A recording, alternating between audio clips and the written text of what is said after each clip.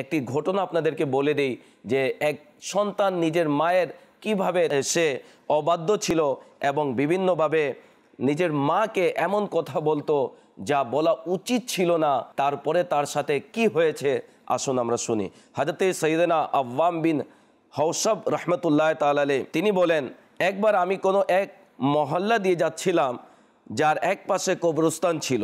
আসরের নামাজের পর একটি কবর ফেটে গেল এবং সেটা থেকে এক ব্যক্তি বের হলো, যার মাথা গাধার মতো ছিল আর বাকি শরীর মানুষের ছিল।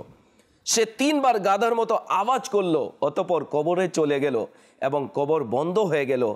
এক বৃদ্ধা মহিলা দূরে বসে সুতা কাটছিল। অন্য এক মহিলা আমাকে বলল, বৃদ্ধা মহিলাকে দেখতেছ?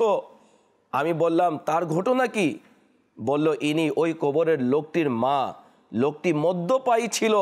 যখন সন্ধ্যায় ঘরে আসতো, মা তাকে উপদেশ দিয়ে বলতো যে, হে আমার সন্তান, আল্লাহকে ভয় করো। আর কতদিন এই হারাম বস্তু পান করবে সে উত্তর দিত, তুমি গাধার মতো চিৎকার করো না।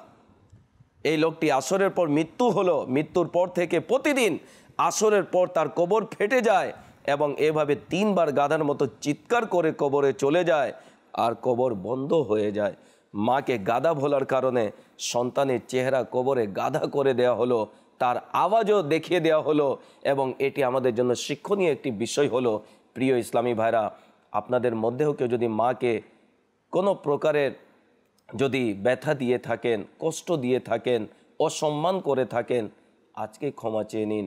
মনে রাখবেন, মা যদি রাজি, বাবা যদি রাজি, আল্লাহ রাজি। মা যদি নারাজ বাবা যদি নারাজ, আল্লাহ নারাজ এবং এমন সন্তানকে দুনিয়াতেও আজাব দেওয়া হয়, দুনিয়াতেও শাস্তি দেওয়া হয়, দুনিয়াতেও কষ্টে পতিত করা হয় এবং কবরে হাসরে আজাব তো আছে